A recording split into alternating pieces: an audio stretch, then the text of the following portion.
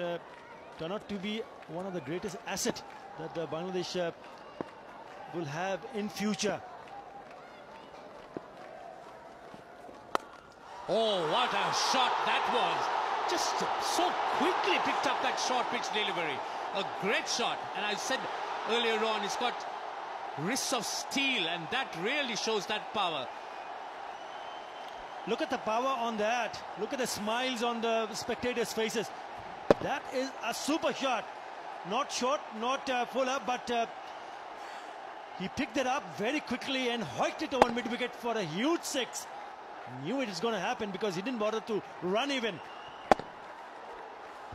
This lad can play. That high backlift just dispatched it. Total disdain to the bound. 64 required from 8.5. That's come off uh, the outer portion of the bat, but he's got enough on it to get a boundary. So even Mendis conceding. Oh, that's another great shot. Absolutely brilliant.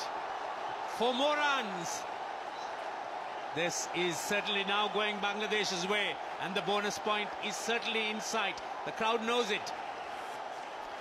Well, then all the non-striker uh, has to do is just look at that shot. What a beautiful, once again, making room and crashing in in front of the square in the cover region. Super shot. He knows exactly what he's doing. 10 of the overs so far.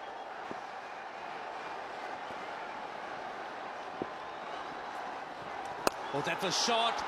Oh, the head of the infield. And that's going down, not to the boundary. But they'll get two runs for this. Fortune favours the brave. Pull the words right out of my mouth. Definitely. You got to take your chances. Nearly, nearly getting into the hand, but not enough. Just out of reach of that fielder at cover. Two very important runs. Yes, he'll be disappointed that he didn't get more of it because uh, Ajantha Mendis really dragged that one very short. Sweeps. He'll get another run. Crowd cheering every run, understandably. There'll be a huge uproar, make no mistake, when uh, Bangladesh go on to win this one. Everybody standing on, none of them sitting around, knowing, sensing that what a turnaround this has been for Bangladesh. Losing the first game against Zimbabwe, and now in with a chance to play the final. Amazing turnaround. Absolutely. I think uh, Bangladesh winning this is uh, foregone. I mean, you know that they would win this because they've got 45 balls to win this from. It's a question of getting that bonus point. Seven runs of eight balls. Comes down and drives, and he gets through four runs. Oh, what a fine shot by Naeem. So he's joining the party. Excellent batting. Showing no signs of nervousness, the youngster.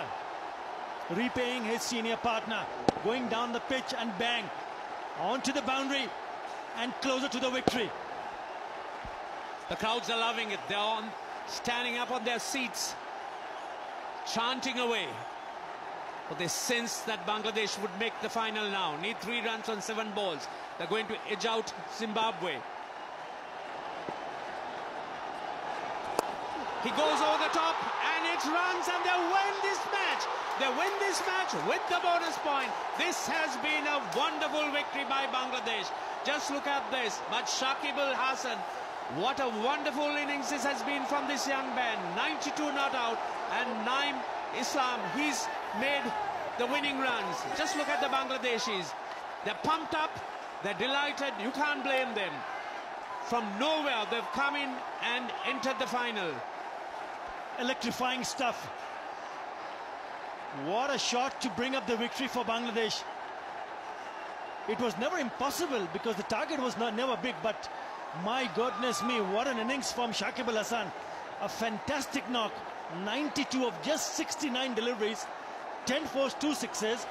But it was the other youngster, Naeem Islam, going down the pitch and heading over the top to get the winning runs.